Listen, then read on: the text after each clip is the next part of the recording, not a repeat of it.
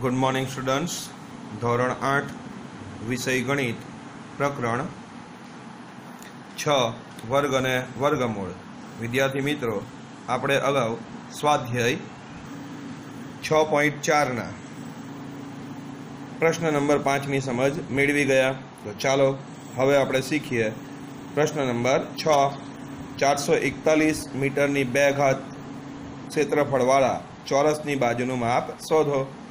તો આપણે સૌપ્રથમ ચોરસનું અહીં શું આપેલું છે? ક્ષેત્રફળ. એટલે આપણને સૌપ્રથમ તો ચોરસના ક્ષેત્રફળનું સૂત્ર ખબર હોવું જોઈએ કે ચોરસનું ક્ષેત્રફળનું સૂત્ર છે બાજુની બે ઘાત અથવા તો લંબાઈની બે ઘાત. બરાબર? તો સૌપ્રથમ તો આપણને બાજુનું માપ ખબર નથી. એટલે આપણે ધારી લેવું પડે. તો ધારી લઈએ. ધારો કે ચોરસની બાજુનું માપ. એક્સ મીટર છે. બરાબર? હવે ચોરસનું ક્ષેત્રફળ આપ્યું છે. એટલે આપણે ચોરસનું ક્ષેત્રફળનું સૂત્ર મૂકીશું કે ચોરસનું ક્ષેત્રફળ બરાબર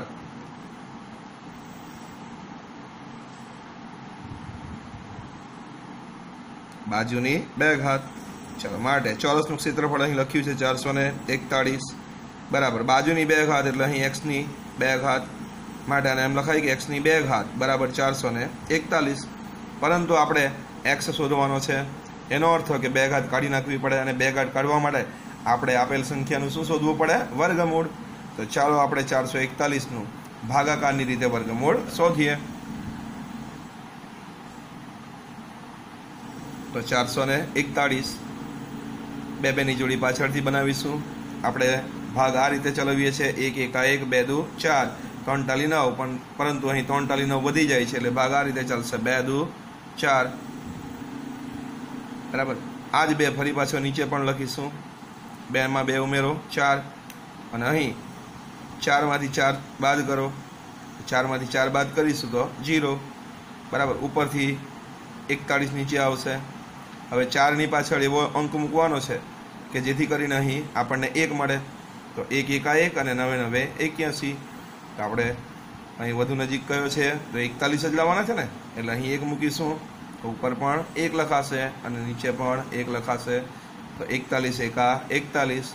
અહીં સરવાળો કરીશું. એકતાલીસમાં એક ઉમેરીએ તો કેટલા મળશે? બેતાળીસ. અહીં એકતાલીસમાંથી એકતાલીસ બાદ કરીએ તો જીરો મળે. તો આ જે જવાબ થયો, વર્ગમૂળમાં ચારસો એકતાલીસ. બરાબર, જવાબ કેટલો મળ્યો? એકવીસ. અને વર્ગમૂળમાં ચારસો એકતાલીસ. ચારસો એકતાલીસ એટલે એક્સની કેટલી ઘાત છે? બે ઘાત છે. બરાબર, એકવીસ માટે. આમ લખી શકાય કે એક્સ બરાબર કેટલા મળ્યા આપણને? એકવીસ. તો આના પરથી કહી શકાય માટે ચોરસની બાજુનું માપ. કેટલું છે? એકવીસ મીટર છે. હવે જોઈએ આપણે પ્રશ્ન નંબર સાત. કાટકોણ ત્રિકોણ એબીસીમાં ખૂણો બી નેવું છે. એટલે કે કાટકોણ ત્રિકોણ જુઓ, અહીં દોરેલો છે, કાટકોણ ત્રિકોણ એબીસી એમાં આપ્યું કે જો એબી બરાબર છ સેમી, આ એબી છ સેમી બીસી આઠ સેમી, તો આપણે એસી શોધવાનો છે. હવે આપણે શીખી ગયા છીએ પાયથાગોરસનો સિદ્ધાંત કે કાટકોણ ત્રિકોણમાં કાટખૂણો સમાવતી બાજુના માપના વર્ગોનો સરવાળો. કોના જેટલો થાય છે? કર્ણના વર્ગ જેટલો. એનો અર્થ કે કાટખૂણો સમાવતી બાજુ અહીં કઈ કઈ છે? એ બી અને બીસી એના વર્ગોનો સરવાળો. તો એ બીનો વર્ગ વત્તા બીસીનો વર્ગ. બરાબર. કર્ણનો વર્ગ એટલે એસીની કેટલી ઘાત? બે ઘાત. આ બાબત આપણે ધોરણ સાતમાં શીખીને આવ્યા છીએ. ચલો, માટે અહીં મૂકીશું. તો છની બે ઘાત વત્તા બીસી એટલે આઠની બે ઘાત. બરાબર. એસીની બે ઘાત. માટે એસીની બે ઘાત બરાબર શું લખાશે? છની બે ઘાત છત્રીસ વત્તા આઠની બે ઘાત તો ચોસઠ. માટે એસીનો વર્ગ બરાબર જવાબ કેટલો મળ્યો આપણને? સો. બરાબર. હવે આ સોનું પણ આપણે ભાગાકારની રીતે વર્ગમૂળ શોધી શકીએ છીએ. એમ તો આપણને ખબર જ છે કે સો એ દસનો વર્ગ છે. પરંતુ ગણતરી કરી લઈએ તો જુઓ, અહીં એક કરતાં વધવું ન જોઈએ તો એક, એકા એક. એટલે અહીં એક, ઉપર પણ એક અને નીચે પણ એક લખાશે. એકમાંથી એક બાદ કરો જીરો.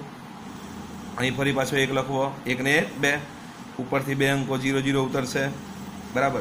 હવે બેનો ઘડીઓ બોલવાનો જીરો કરતાં વધવાના જોઈએ. તો એનો અર્થ કે અહીં જીરો જ મૂકવો પડે તો ઉપર પણ જીરો અને નીચે પણ જીરો. તો અહીં પણ જવાબ જીરો જ મળશે. માટે આપણને એસીનો વર્ગ બરાબર અહીં મળી ગયું. સો કોનો વર્ગ થયો દસનો. માટે એસી બરાબર જવાબ મળ્યો આપણને દસ. આ રીતે એસી બરાબર કેટલા સેમી થાય છે? દસ સેમી. હવે બીજી આકૃતિ જુઓ. જો એસી બરાબર તેર સેમી, એટલે અહીં તેર સેમી છે. બીસી છે તે પાંચ સેમી છે. અને આપણે એ બી શોધવાનો છે, બરાબર? તો હવે ફરી પાછો પાયથાગોરસના સિદ્ધાંત પ્રમાણે કાટખૂણો સમાવતી બાજુઓના માપના વર્ગોનો સરવાળો કર્ણના વર્ગ જેટલો થાય છે. એટલે આપણે લખીશું કે એ બીની બે ઘાત વત્તા બીસીની બે ઘાત, બરાબર? એસીની બે ઘાત. ચાલો એ બી આપણને ખબર નથી. બીસી છે એ પાંચની બે ઘાત, બરાબર? એસીની બે ઘાત એટલે તેરનો વર્ગ માટે એબીનો વર્ગ વત્તા પાંચનો વર્ગ પચીસ, બરાબર તેરનો વર્ગ કેટલો થશે? એકસો ઓગણસિત્તેર. માટે એ બીનો વર્ગ બરાબર શું લખાશે? એકસો ઓગણસિત્તેર ઓછા પચીસ. માટે એ બીનો વર્ગ બરાબર એકસો ઓગણસિત્તેરમાંથી પચીસ બાદ કરો એકસો ચુમ્માળીસ. હવે આ એકસો ચુમ્માળીસ કઈ સંખ્યાનો વર્ગ છે એ આપણને ખબર છે, પરંતુ આપણે એનો વર્ગમૂળ ફરી પાછા શોધી લઈએ કે એકસો ચુમ્માળીસ એટલે જોડી આ રીતે બનશે. બરાબર? તો સૌપ્રથમ એક વડે ભાગ ચાલશે. એક એક, આ એક. અહીં ફરી પાછો એક લખીશું. આ જ એક લખવાનો છે. એકને એક, બે. અહીં બાદબાકી થશે જીરો ઉપરથી ચુમ્માળીસ નીચે આવશે. હવે બેનો ઘડીઓ બોલો. ચાર કરતાં વધવાના જોઈએ તો બે દૂર. ચાર ઘડીઓ આપણે આ બોલવાનો છે, બરાબર? તો પાછળ બે લખીશું અને ઉપર પણ બે લખાશે. અહીં ગુણાકાર લખવાનો છે તો બાવીસ દૂર. ચુમ્માળીસ. ચલો, અહીં સરવાળો કરીશું ચોવીસ. આ જીરો જીરો. તો આના પરથી આપણે કહી શકીએ કે ચૌ એકસો ચુમ્માળીસ જે છે, એ કોનો વર્ગ છે? બારનો વર્ગ. માટે એ બી બરાબર. જવાબ કેટલો મળ્યો? બાર. આ રીતે એ બી આપણને મળે છે કેટલા સેમી? બાર સેમી.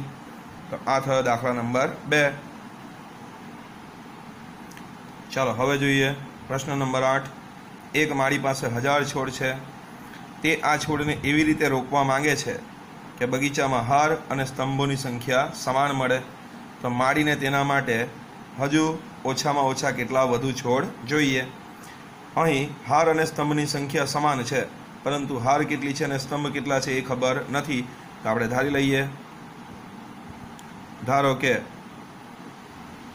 હારની સંખ્યા એક્સ છે, બરાબર? જો હારની સંખ્યા એક્સ છે તો સ્તંભની સંખ્યા પણ કેટલી થાય? એક્સ જ થાય માટે સ્તંભની સંખ્યા બરાબર પણ એક્સ થાય. હવે આપણે શોધીશું કુલ છોડ. કુલ છોડ જો શોધવા હોય, તો હારની સંખ્યા અને સ્તંભની સંખ્યાનો શું કરવો પડે? ગુણાકાર કરવો પડે. માટે કુલ છોડ જે છે એ આપણને મળશે એક્સ ગુણ્યા એક્સ બરાબર એક્સની કેટલી ઘાત? બે ઘાત માટે એક્સની બે ઘાત બરાબર. હજાર. કારણ કે કુલ કુલ છોડ અહીં આપણને આપ્યા છે હજાર. એટલે આપણને એક્સની બે ઘાત બરાબર હજાર મળ્યા. પરંતુ આપણે એક્સ શોધવાનો છે. એનો અર્થ કે એક્સની બે ઘાત કાઢી નાખવી પડે અને એક્સની બે ઘાત કાઢી નાખવા માટે આપણે આપેલ સંખ્યાનું શું શોધવું પડે? વર્ગમૂળ શોધવું પડે. તો ચાલો આપણે હજારનું શોધીએ. વર્ગમૂળ. બરાબર? તો હજારનું વર્ગમૂળ શોધવું હોય તો આપણે પાછળથી બે બેની જોડી બનાવવી પડશે. અહીં બે અહીં બે. બરાબર? ચાલો. હવે ભાગ આ રીતે ચાલશે. એક એકા એક, બે દુ ચાર, ત્રણ તાલી નવ ને ચાર ચોક સોળ જુઓ. તો દસ કરતાં વધી જાય છે. એટલે ભાગ ચાલશે ત્રણ તાલી નવ. ઉપર પણ ત્રણ. ફરી પાછા નીચે પણ ત્રણ લખાશે. અને અહીં ગુણાકાર ત્રણ તાલી નવ. દસમાંથી નવ બાદ કરો એટલે એક મળે. અહીં સરવાળો કરીશું ત્રણને ત્રણ, છ. ઉપરથી બે જીરો નીચે ઉતરશે. હવે, અહીં આ જે સંખ્યા છે એ પૂર્ણ વર્ગ નથી, એટલે આપણે કઈ સંખ્યા અહીં મૂકવી તે નક્કી કરવું પડે. તો જુઓ, પહેલાં એક મૂકીએ તો એકસઠ એકા એકસઠ થાય. બે મૂકીશું તો બે દુ ચાર અને છ દુ બાર, એકસો ચોવીસ વધી જાય છે. એનો અર્થ કે અહીં પણ એક લખાશે, ઉપર પણ એક, ફરી પાછા નીચે પણ એક લખાશે. ચલો, અહીં સરવાળો અને અહીં ગુણાકાર લખીશું એકસઠ એકા એકસઠ. સોમાંથી એકસઠ બાદ કરીએ એટલે આપણને મળે ઓગણચાલીસ. હવે આપણને કહ્યું છે કે માળીને તેના માટે ઓછામાં ઓછા હજુ વધુ કેટલા છોડ જોઈશે? અને વધુ છોડ જોઈશે એનો અર્થ કે હજાર કરતાં હજુ વધારે છોડની જરૂર છે. એટલે કે બાકીના છોડ શું કરવા પડે એમાં? ઉમેરવા પડે. એટલે કે આપેલા છોડ જે છે એ આ એકત્રીસની બે ઘાતના છોડ કરતાં કેવા છે? વધુ હોવા જોઈએ. વધુ છે માટે. એક હજાર જે છે, એ મોટો છે. કોના કરતાં? એકત્રીસની બે ઘાત કરતાં. માટે આપણે એકત્રીસ પછીની સંખ્યા લેવી પડે તો એકત્રીસ પછીની સંખ્યા કઈ મળે? બત્રીસ છે. અને આ બત્રીસની જો બે ઘાત કરીએ, તો બત્રીસની બે ઘાત થશે એક હજાર ને ચોવીસ. હવે આપણને જે વધારાના છોડ જોઈએ છે, તેની સંખ્યા શોધવું હોય, તો વધારાના છોડની સંખ્યા બરાબર, આપણે આમ લખવું પડે કે બત્રીસની બે ઘાત ઓછા. આપણને કેટલા આપ્યા છે? હજાર. બરાબર. બત્રીસની બે ઘાત થશે એક હજાર ચોવીસ. ઓછા. હજાર. હવે એક હજાર ચોવીસમાંથી આપણે હજાર શું કરવાના છે? બાદ કરીશું. તો જવાબ મળશે ચોવીસ. માટે આના પરથી આપણે એમ કહી શકીએ કે માડીને હજુ વધુ ચોવીસ છોડની જરૂર છે. તો આ રીતે દાખલા નંબર આઠ પૂર્ણ થાય છે. હવે જોઈએ આપણે દાખલા નંબર નવ. તો એક નિશાળમાં પાંચસો વિદ્યાર્થીઓ છે. પીટીની કવાયત કરવા માટે તમામ વિદ્યાર્થીઓ એવી રીતે ઊભા રાખ્યા છે કે જેથી હાર અને સ્તંભોની સંખ્યા કેવી રહે, સમાન રહે. તો નિશાળના કેટલા વિદ્યાર્થીઓ આ ગોઠવણી કરવાથી બહાર રહેશે? અહીં જોઈએ તો હાર અને સ્તંભની સંખ્યા સમાન છે. પરંતુ કેટલી હાર છે અને કેટલા સ્તંભો છે તે જણાવ્યું નથી. એટલે આપણે સૌપ્રથમ તો ધારી લઈશું કે ધારો કે વિદ્યાર્થીઓની હારની સંખ્યા, વિદ્યાર્થીઓની હારની સંખ્યા. એક્સ છે.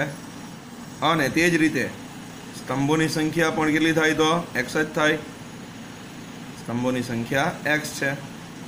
માટે કુલ વિદ્યાર્થીઓ જો આપણે શોધવા હોય, તો કુલ વિદ્યાર્થીઓ બરાબર શું લખાશે? હારની સંખ્યા ગુણ્યા સ્તંભની સંખ્યા. માટે અહીં જોઈએ તો કુલ વિદ્યાર્થીઓ છે છે, આપણને આપેલા છે કેટલા? પાંચસો. બરાબર. હારની સંખ્યા છે એક્સ અને સ્તંભની સંખ્યા પણ છે એક્સ માટે પાંચસો બરાબર. એક્સ અને એક્સ એટલે એક્સની કેટલી ઘાત? બે ઘાત. આનો અર્થ એવો થાય કે આપણે એક્સ જો શોધવો હોય, તો અહીંથી વર્ગ કાઢી નાખવો પડે. અને વર્ગ કાઢી નાખવો હોય, તો સંખ્યાનું શું શોધવું પડે? વર્ગમૂળ. એટલે આપણે પાંચસોનું વર્ગમૂળ શોધીશું. ચાલો પાંચસોનું વર્ગમૂળ શોધીએ આપણે. તો સૌ પ્રથમ પાંચનો ભાગ ચલાવવાનો છે. તો ભાગ આપણે આ રીતે ચલાવીશું. એક, એકા એક, બે, દુ, ચાર. ત્રણ ટાલી નવ જુઓ, વધી જાય છે. એટલે ભાગ આ રીતે ચાલશે. બે, દુ, ચાર. અહીં ફરી પાછા બે લખીશું આજ. બેમાં બે ઉમેરો, ચાર. હવે પાંચમાંથી ચાર બાદ કરો એટલે એક. ઉપરથી બે જીરો નીચે ઉતરશે. હવે ચારની પાછળ કયો અંક લખવો કે જેથી કરીને સો કરતાં વધવાના જોઈએ તો ચારનો ઘડિયો બોલો, દસ કરતાં વધવાના જોઈએ. ચાર, દુ, આઠ. દુ એટલે આપણે કેટલા લખીશું? બે. અહીં બે, ઉપર પણ બે અને નીચે પણ બે. બે ને બે, ચાર. અને ચાર. ગુણાકાર કરીએ તો બે દુ ચાર અને ચાર દુ આઠ. હવે સોમાંથી ચોર્યાસી બાદ કરીશું તો કેટલા મળશે? સોળ. માટે અહીં શેષ કેટલી બચે છે? સોળ બચે છે. બરાબર. માટે આમ લખી શકીએ કે પાંચસોમાંથી જો સોળ બાદ કરીએ, સોળ બાદ કરીએ, તો મળતી સંખ્યા બરાબર. શું લખાશે પાંચસો માઇનસ સોળ. ચલો બાદ બાકી કરો. જીરોમાંથી છ બાદ કરો, એટલે ચાર મળશે. અહીં નવ રહે છે, નવમાંથી એક બાદ કરો, આઠ. પાંચસો ને ચોર્યાસી મળે છે. સોરી બાદ બાકી પાંચસો નહીં ચારસો ચોર્યાસી થાય, એટલે ચારસો ચોર્યાસી રહે છે. અને આ જે ચારસો ચોર્યાસી છે, એ કોની બે ઘાત છે? બાવીસની બે ઘાત. એનો અર્થ કે હાર અને સ્તંભની સંખ્યા કેટલી કેટલી સમાન હશે? બાવીસ. માટે આના પરથી લખી શકીએ આપણે કે નિશાળના કેટલા વિદ્યાર્થીઓને ગોઠવણીથી બહાર કરવા પડે તો કે સોળ વિદ્યાર્થીઓને માટે લખીશું અહીં કે નિશાળના સોળ વિદ્યાર્થીઓને આ ગોઠવણીમાંથી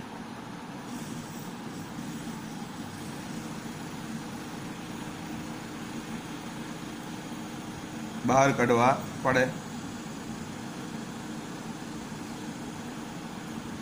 તો વિદ્યાર્થી મિત્રો, અહીં આપણો દાખલા નંબર નવ પૂર્ણ થાય છે અને એની સાથે જ આપણું સ્વાધ્યાય છ પોઈન્ટ ચાર અને પ્રકરણ છ, વર્ગ અને વર્ગમૂળ પણ અહીં પૂર્ણ થાય છે. નવા પ્રકરણની સમજ સાથે આપણે ફરી પાછા આગલા વિડીયોમાં મળીશું.